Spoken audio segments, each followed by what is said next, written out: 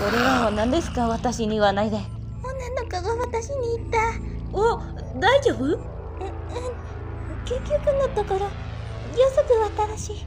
あなたの後ろには何がありますか？神どうやってやったの？